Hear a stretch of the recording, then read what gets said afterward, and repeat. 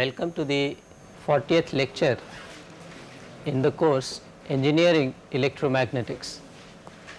We continue in this lecture with our discussion on the main topic radiation which is the last uh, main topic in this lecture and we complete our discussion for the purpose of this course on the half wave dipole antenna which was initiated in the last lecture and then we go on to consider what are called the folded dipole antennas and then finally the radiation pattern of the various antennas that we have considered.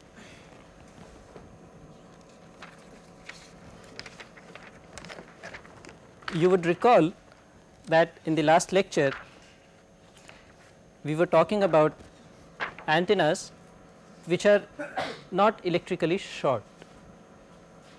Okay. A half wave dipole antenna would fall under this category.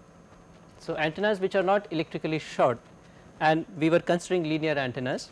So, we locate such an antenna uh, uh, symmetrically about the origin and the antenna is uh, oriented along the z axis. And we consider that the current distribution on these antennas which are not electrically short uh, using an analogy with the open circuited transmission lines is sinusoidal.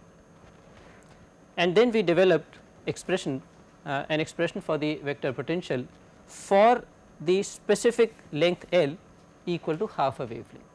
And we said that the half wave dipole is used very frequently because uh, it offers an impedance at these feed terminals which is more or less real.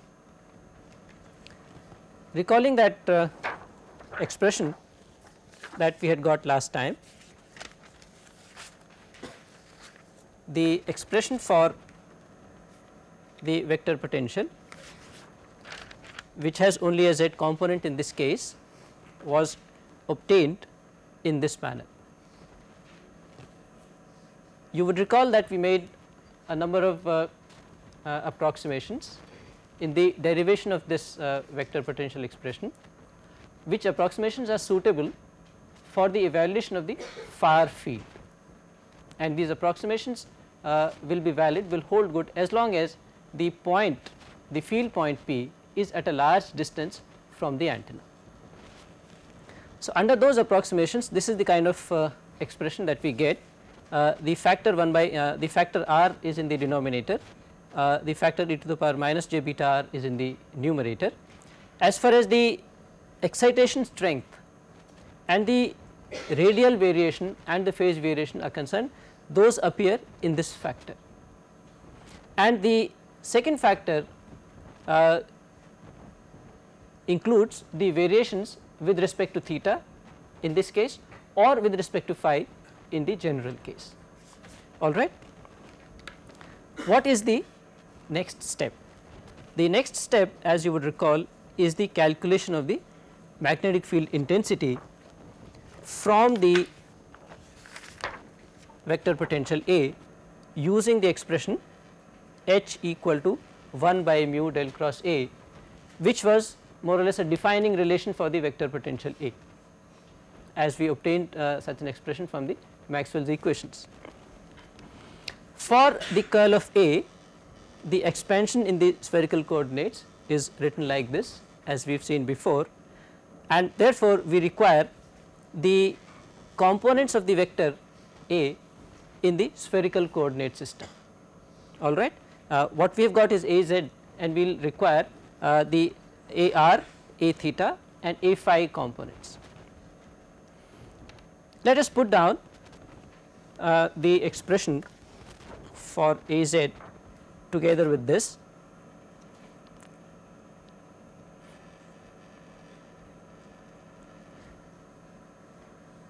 all right and then write on the board the various spherical components for this case.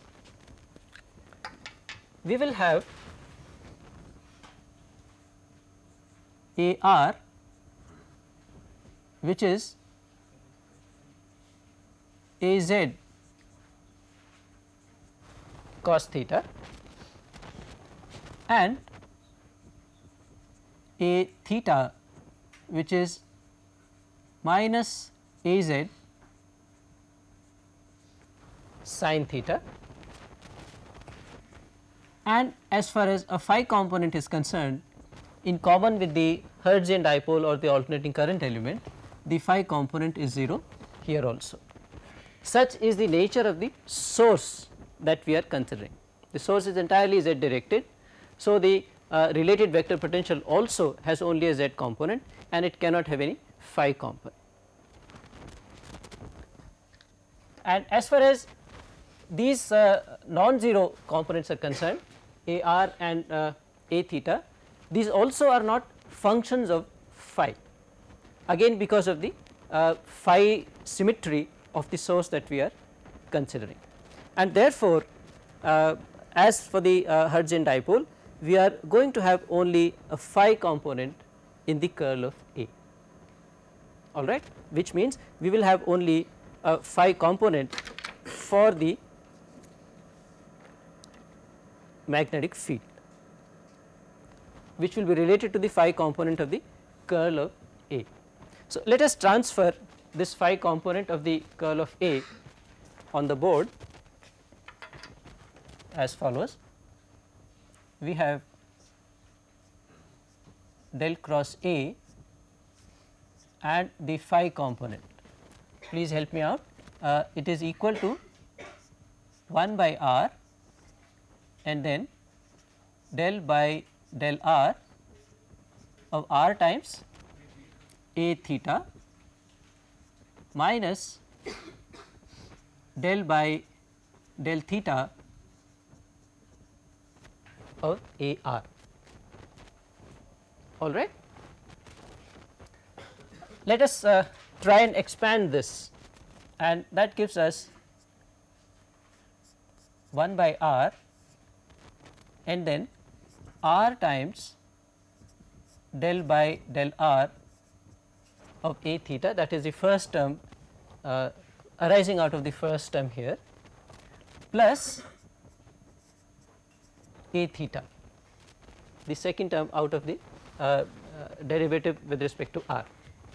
And as far as a r is concerned since it has uh, the expression in terms of a z and cos theta as a z cos theta this can be written as minus del A z by del theta cos theta plus A z sin theta. So, completing this further what we get is 1 by r and then we substitute for a theta in terms of a z. So, that gives us r times del by del r of a theta which is minus a z sin theta plus a theta uh, let us substitute for a theta also in terms of a z. So, that it is minus a z sin theta and then we have minus del a z by del theta cos theta plus a z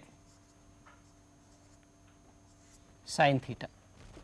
And therefore, we see that these two terms cancel out. As far as this term is concerned, the variation of this term with respect to r is not going to be affected even when we take the theta derivative. And A z itself as you recall has a variation with respect to r which is such that it is 1 by r. And therefore, keeping the factor 1 by r in front in mind the variation of this term as far as the variation with respect to r is concerned is going to be 1 by r square which will not be a term contributing to average power flow because it will not be varying as 1 by r. Earlier we have argued out that it is the terms which vary as 1 by r only which will contribute to the average power flow. And therefore, based on such an argument as far as the uh, distant field or the radiation field terms are concerned this is going to be simply or approximately del by del r of minus A z sin theta which is more simply minus del A z by del r times sin theta. And therefore, the phi component of H which is 1 by mu del cross A phi component of this curl uh, is going to be minus del A z by del r times sin theta all right. Going back to the overhead projector now this can be worked out. What we require for the magnetic field is an h of phi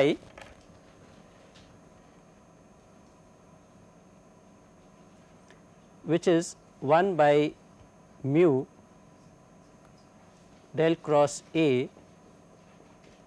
phi which as we have uh, seen is equal to minus del A z by del r times sin theta as far as the far field is concerned. And therefore, we require the r derivative of A z. Here again there are two terms involving r and one can make out that one of the terms arising out of this derivative will have a variation which will be 1 by r square. So, once again using the same logic that term will be discarded. And therefore, h phi as far as the far field is concerned will give us j i m e to the power minus j beta r divided by 2 pi r. And then of course cosine of pi by 2 cos theta times divided by sin theta which completes the second step involved in the analysis of uh, this kind of antennas. The vector potential A, the uh, relevant component and the magnetic field. We see that there is only a phi component and as far as the far field is concerned it has a relatively simple expression like this. The third step is the evaluation of the electric field and once again we are going to be interested in the evaluation of the far field component of the electric field and the far field components of the electric and the magnetic fields are simply related. Therefore, this task is relatively simple E theta which should be eta times h phi can be written as j eta i m e to the power minus j beta r by 2 pi r and then cosine of pi by 2 cos theta divided by sin theta. And therefore, as far as our task of evaluating the far field expressions is concerned that is now complete. What is the uh, route that we followed? The vector potential, the magnetic field and then the electric field. And there have been considerable simplifications because we are interested at the moment only in the far field. There is a simpler route which is available and that uh, can be reached when we consider the expression for the electric field in terms of the potentials potentials V and A. You would recall that uh, we obtained E equal to the negative gradient of the potential function V minus del A by del t in general otherwise in phasor notation j omega times A. Now, it so turns out that the terms that result from the first term on the right hand side del v they do not contribute to the far field. Therefore, as far as far field is concerned we can consider only the second term all right. Perhaps one can advance uh, uh, some uh, exp uh, explanation for this, but right now what is important for us is that the far field contributions are made by the second term. Even there in the far field since the average Poynting vector is expected to have a radial direction, what kind of terms should be involved in the far field? It should be the theta and phi terms which should be involved in the far field. Therefore, as far as the far field is concerned, far field, the distant field or the radiation terms whichever way you like to call it for far field we can simply write E theta equal to or approximately minus j omega a theta and depending on the situation there may be a phi component in the present case it is uh, not there. E phi which would be minus j omega a phi. Okay? And the expressions for a theta related to a z are there before you. If you apply this process you will find that the expression that results will be the same as we have got through the alternative route. Okay? Which route is extremely simple and straightforward. Once we have got the electric field the far magnetic field can be determined in a simple manner we will have h of phi given by E theta by eta and if there is a phi component of the electric field present there will be corresponding theta component of the magnetic field given by minus E phi by eta going by the cyclic order of the subscripts. Okay. In general as far as the far field is concerned this route is the shortest and the simplest all right, uh, but that is just an alternative method. Having got the uh, expressions for the far field we will now be interested in the evaluation of the total power that is radiated by the half wave dipole that we are considering. As far as the total power is concerned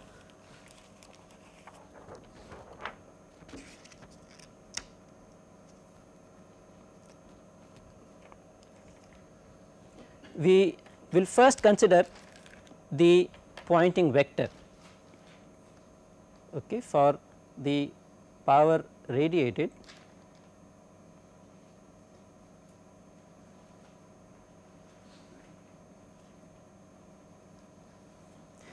the average Poynting vector and we have already identified uh, the fact that for the far field uh, it will have a radial direction. In fact, the average Poynting vector always has a radial direction even when it, uh, it is evaluated close to the antenna all right. So, that radial direction we are not attaching it is understood and the average Poynting vector uh, can be written as half eta magnitude of h square. Or alternatively it could have been written in terms of the electric field. And this results in the following expression for the average Poynting vector.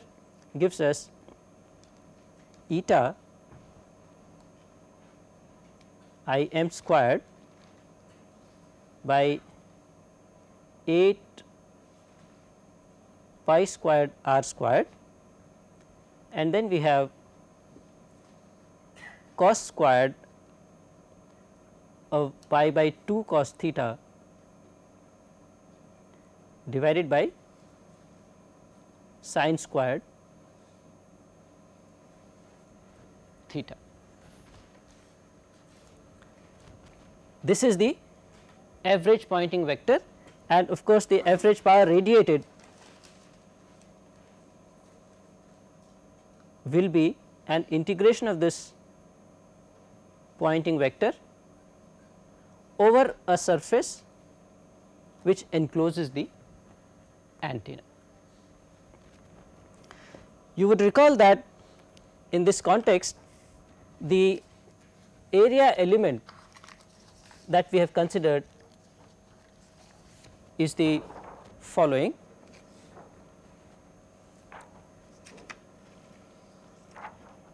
This is the way we can consider the area element which is in the shape of a uh, ring of a very small width like this. We can consider this kind of an area element because the expression that we need to integrate is phi independent and therefore, we have considered this kind of an area element and uh, this element of area has an expression uh, dA equal to 2 pi r squared times sine theta d theta. Okay. So, this is the uh, element of area that can be used in the integration and carrying out this process what we get is the following W average is going to be equal to eta i m squared by 8 pi squared r squared and then we have the integral of cos squared of pi by 2 cos theta divided by sine squared theta multiplied by the area of this uh, uh, element of integration. So, that it is 2 pi r squared sine theta d theta and as a result you see that some terms drop out or cancel out. Now, this integration will have to be evaluated this turns out to be equal to eta i m squared by 4 pi and then integral of cos squared pi by 2 cos theta by sin theta d theta. What about the limits of integration? Now, depending on whether we want to consider the monopole antenna or the dipole antenna, the limits can be put appropriately. For the monopole antenna, it is enough to consider the limits from 0 to pi by 2 that will cover the region above the ground plane over which the monopole antenna is erected and for the dipole the limits will go from 0 to pi. And therefore, uh, right now maybe we can use the limits 0 to pi by 2 and if we want to get the power radiated by the corresponding dipole we will simply double this uh, expression that we get. Now, the integrand is unfortunately not so straightforward and it requires a few mathematical manipulations.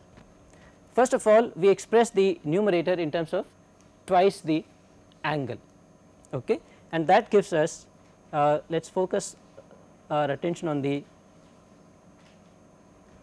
integral alone so that we get half of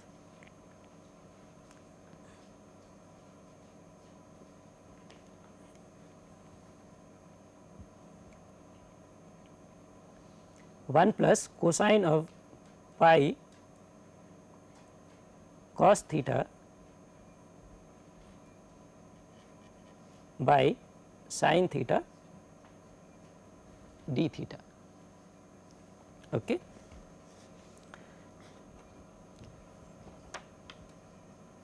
next we make the following substitution which unfortunately is not obvious. The substitution is let V be equal to pi into 1 plus cos theta. Okay. So, that dV is equal to minus pi sin theta d theta and pi cos theta is equal to v minus pi. So, that sin squared theta which is going to be required a little later which is 1 minus cos squared theta can be written as 1 minus v minus pi by pi whole square which simplifies to twice pi v minus v squared or v into 2 pi minus v by pi square. When we make this substitution in the integral, then cosine of pi cos theta will become minus cos of v okay, because it will be cosine of v minus pi and then we will also get a sin square theta term in the denominator. So, taking care of these things what we get is uh, the integral will be minus pi by 2 and then we have 1 minus cos of v dv upon v into 2 pi minus v which is to be integrated. This is further written as by expanding this in terms of partial fractions. So, that we get expressions which are uh, easily integrable as uh, minus half and of course, 1 minus cos of v and then here we can write simply 1 by v plus 1 by 2 pi minus v. Okay.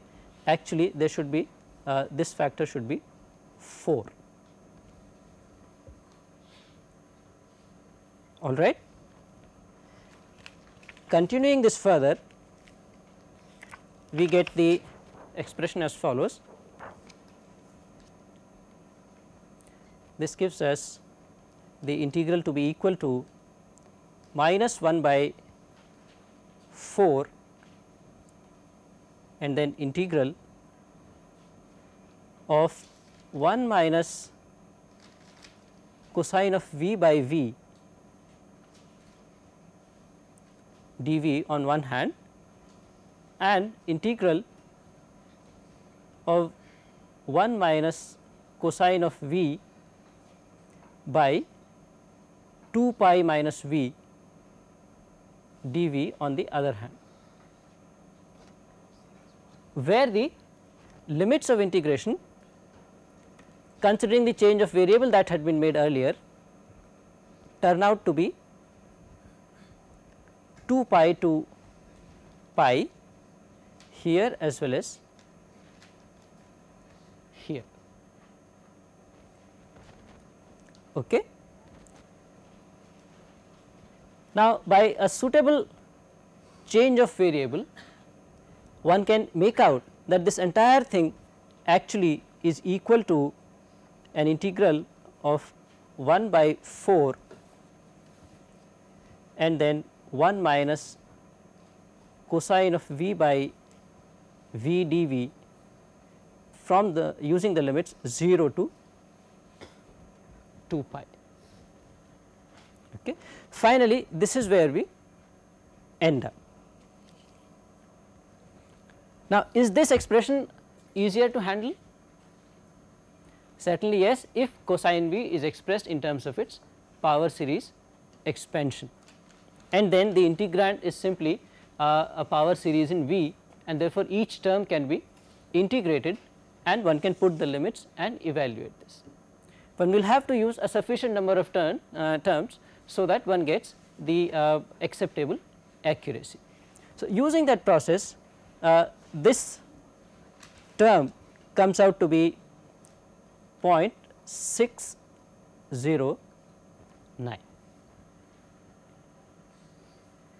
Okay. Now, it is uh, it is true that after so much of manipulation we have been able to integrate this analytically. A question could come up that what happens in general. In general one can use numerical integration okay, which algorithms which software is now readily available. But here it was possible to do this analytically. So, we have taken so much of trouble. Now, once this integral has been evaluated this integral uh, is this one this has come out to have a value 0.609 and therefore, uh, that can be uh, substituted here and we get for W average uh, an expression which is 0.609 eta times I m squared by 4 pi which so that we can uh, determine the radiation resistance can be alternatively written as 0.609 eta by 2 pi and then I RMS or I effective squared considering that I m was the amplitude of the sinusoidally uh, spatially varying current distribution. So that this part the part which is in front of I effective squared becomes the radiation resistance for this case. Since the limits of integration have been used as 0 to pi by 2, this will become the radiation resistance of the quarter wave monopole right and therefore, we have the radiation resistance for the quarter wave monopole uh, and uh, recalling that eta the intrinsic impedance of free space in which we have uh, assumed the antenna to be uh, situated is 120 pi. One can see that this comes out to be 36.5 so many ohms. And uh, by a simple extension the radiation resistance for the corresponding dipole which will be the half wave dipole will be simply the double of this that is 73 ohms. It is interesting to consider what is the result we would have obtained for the radiation resistance for this half wave dipole had we continued uh, our approximation of the uh, approximation based on the alternating current element or the Hertzian dipole. There you would recall uh, we got the radiation resistance expression as 20 pi squared and then the length of the radiator divided by the wavelength whole square which is approximately 200 L by lambda whole squared which for a half wavelength dipole L equal to lambda by 2 is almost 50 which is quite different from the uh, more accurate value which we have obtained taking the sinusoidal uh, spatial distribution of the current into account all right.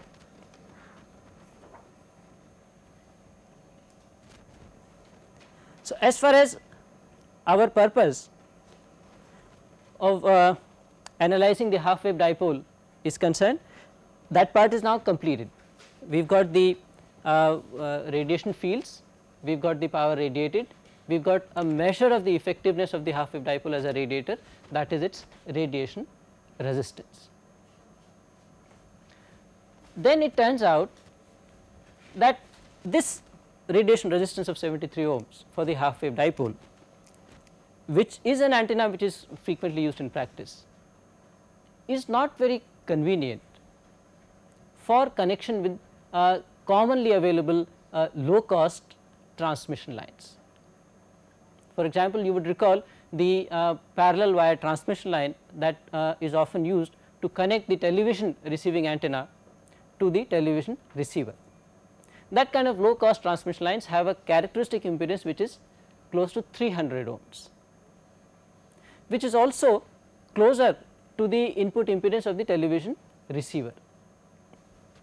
Now, of course, one could through some sort of impedance matching utilize this dipole with this kind of radiation resistance, but uh, everything adds to the cost and of course, the performance will be affected somewhat. Therefore, it will be very nice if through some simple uh, modification of the half wave dipole we could increase the radiation resistance. So, that it meets the requirements we have just mentioned.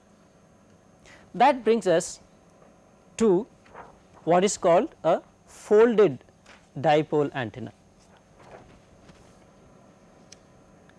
A folded dipole antenna is nothing but uh, a dipole antenna with an additional arm connected in parallel and these two arms are short circuited at the other end.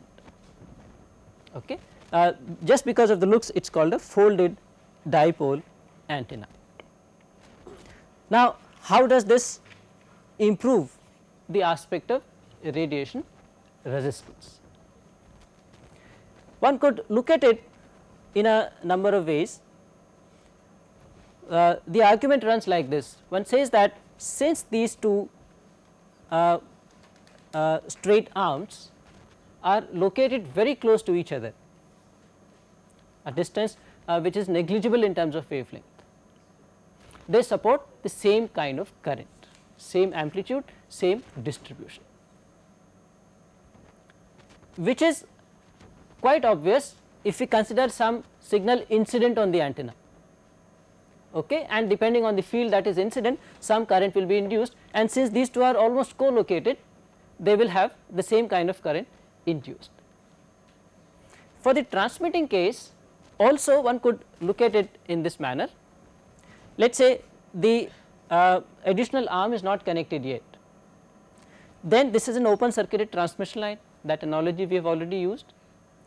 For a, a, a line like this the ends will have 0 current, alternatively the ends will have maximum voltage and voltage and current will have sinusoidal or co-sinusoidal distribution.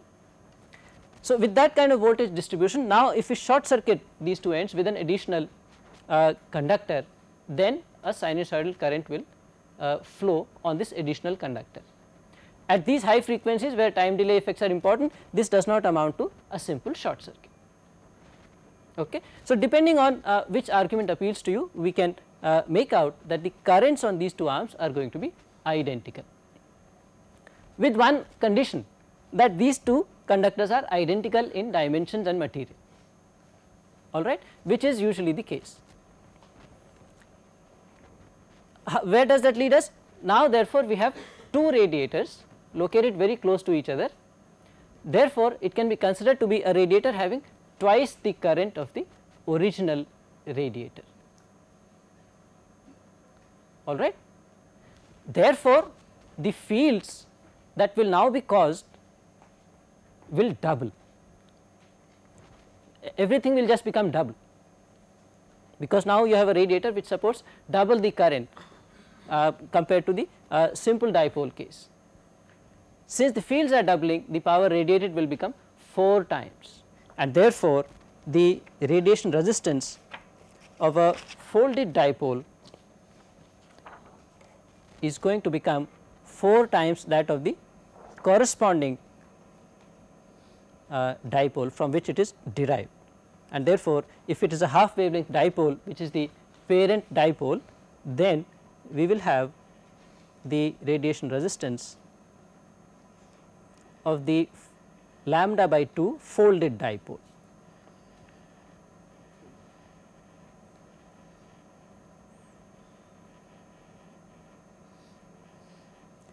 It will be 4 times that is almost 300 ohms. Okay. And very simply one meets the requirement of increasing the radiation resistance for the purposes I mentioned earlier. There is another advantage to using the folded dipole which we will not be able to discuss in detail here, but the bandwidth, the range of frequencies over which the folded dipole can be uh, operated with acceptable performance is wider than that of the uh, simple dipole from which the folded dipole is derived. This fact is very useful when we want to receive television signals which have a considerable bandwidth. Alright and therefore, the folded dipole is a very popular uh, antenna element. And if you recall this is the center element of the uh, antennas which we used for the reception of television signals. Alright. To understand the need or the effect of the additional elements that are there in the television receiving antenna, we will have to wait a little more. We will have to consider the uh, concept of radiation pattern first. So, that is what we take up next.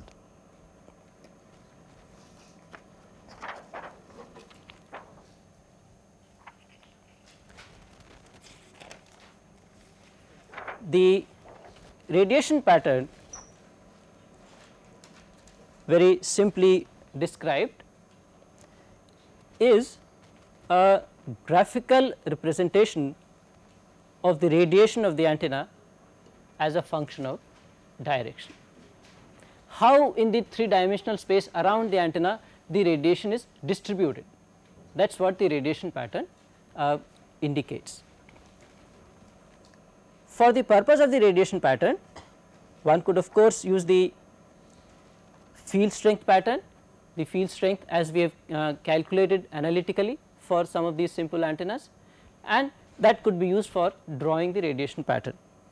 Alternatively, one could uh, use uh, the term which is called the radiation intensity. The radiation intensity is uh, defined as follows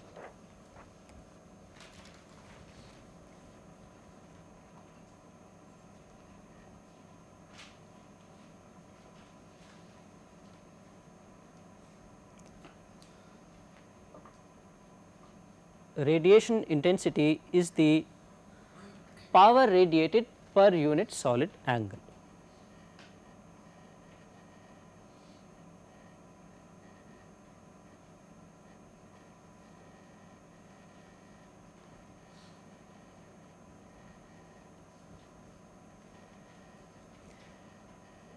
The area associated with a unit solid angle is r square okay.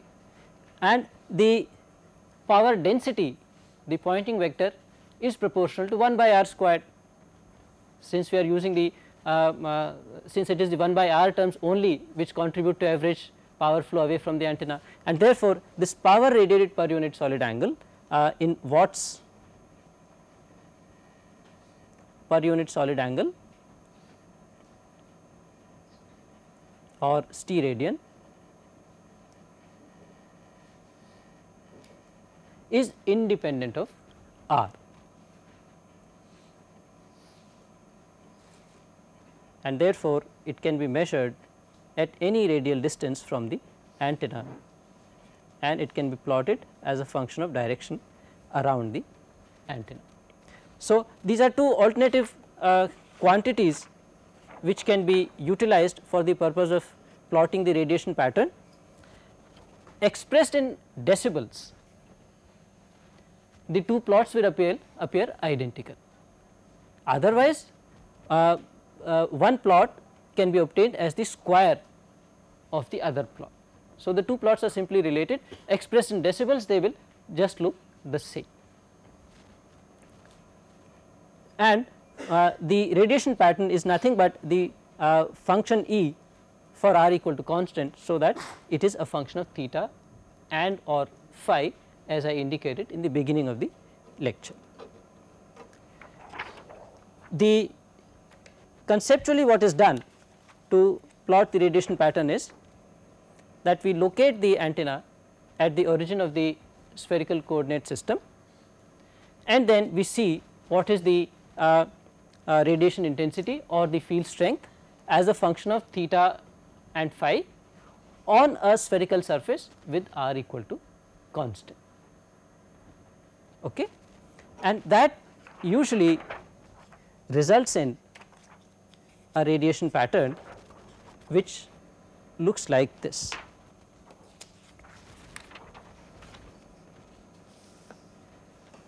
This is the radiation pattern of an of the alternating current element or the Hertzian dipole. This is the uh, uh, coordinate system x, y, z. This is where the dipole the Hertzian dipole is located okay. and as a function of different directions this is how the 3 dimensional plot will look like usually called a dove nut shape. No radiation along the z direction if you look at the E theta and H phi uh, field expressions for the alternating current element maximum radiation in the xy plane the plane normal to the antenna axis that is theta equal to 0 direction. Now, such a 3 dimensional representation is of course visually very complete, but is difficult to put down on the 2 dimensional media that we usually have to deal with paper or uh, monitor screens. And therefore, uh, we go to what are called the patterns in the principal planes. Principal planes will be the planes uh, for example, theta equal to 0 degree, theta equal to 90 degree or some phi equal to constant plane. Okay. These will be the principal planes. Therefore, in this kind of a principal plane, this kind of principal planes, this is the kind of patterns that we will get for the alternating current element. Uh, this is the pattern in any phi equal to constant plane or in any plane containing the antenna all right plane containing the z axis along which the antenna is uh, located. This is the kind of plane we will get uh, kind of pattern we will get for theta equal to 90 degrees plane the plane normal to the antenna axis. And if we consider the uh, orientation of the electric field which is E theta for such a radiator uh, you can see that this can be called the E plane pattern the plane containing the far field point the antenna and the electric field vector and by the same token this can be considered the H plane pattern all right. So, therefore, as far as this plane is concerned the plane normal to the antenna axis the radiation is uniformly distributed. But in the other plane uh, plane containing the antenna the radiation is not uniform it makes a, a figure which is just like the figure of 8. The next thing will be to quantify the radiation pattern in some manner. By quantification what we uh, want to do is to find out how directional is the antenna, how sharp, how sharply peaked the radiation pattern is and that can be done by considering uh, by going over to the concept of beam width. The beam width is the angular separation between the 3 dB points on the uh, radiation pattern. Expressed in decibels, uh, whether we calculate the beam width from the uh, radiation intensity pattern or the field intensity pattern it will come out the same. For example, for the alternating current element the 3 dB beam width is 90 degrees okay that can be seen in a very simple manner by uh, considering the expression for the uh, electric field. On the other hand the other antenna that we have considered the half wave dipole antenna has a pattern which looks wise is similar, but the uh, pattern in a phi equal to constant plane is like this. It is somewhat more directional than the alternating current element and the 3 dB beam width is 78 degrees and therefore, we say that the alternating current element has a 3 dB beam width which is 90 degrees, but the half wave dipole has a beam width which is 78 degrees. A question can come up that well we were trying to uh, have a very good antenna when we have uh, when we had a half wave dipole, but from the point of uh, beam width there is not much difference. That is true, but when we consider the radiation resistance the effectiveness as a radiator we find that half wave dipole has a much better performance 73 ohms compared to the alternating current element or even uh, for that matter the electrically short antennas. So, this is where uh, we will stop if you have any question we can take it up. Thank you.